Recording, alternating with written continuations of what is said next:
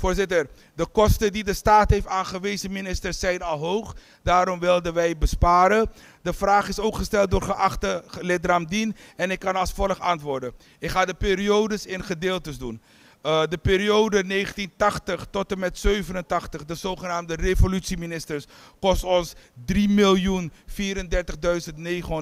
per jaar.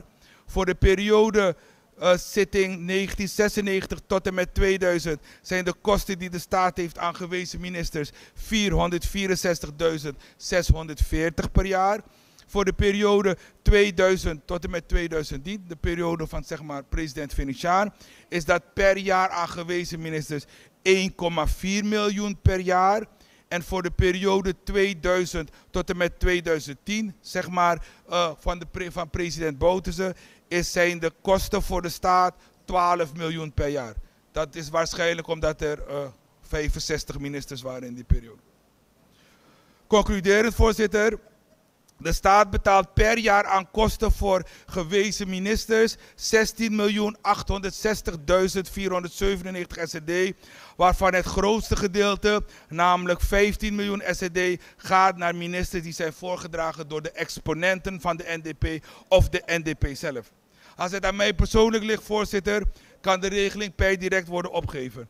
Wij, wij, wij ministers krijgen al zoveel van dit volk. En als ik geen minister meer ben, hoef ik niks meer te krijgen. Ik snap natuurlijk wel dat sommige ministers niet een andere baan kunnen vinden. Geef ze dan een premie, zodat ze een eigen bedrijf kunnen oprichten. Als ik afzwaai, heb ik nog mijn volkswinkel en mijn gym. Dus laten we serieus nadenken om dit, want het kost de staat tientallen miljoenen per jaar.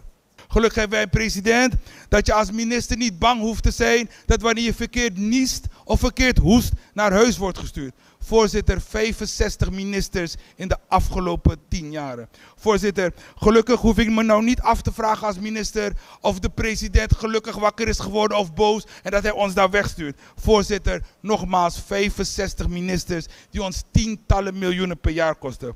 En u heeft net gehoord, namelijk hoe zwaar het drukt op het budget van de staat dat zoveel gewezen ministers, sommigen hebben maar één jaartje gediend.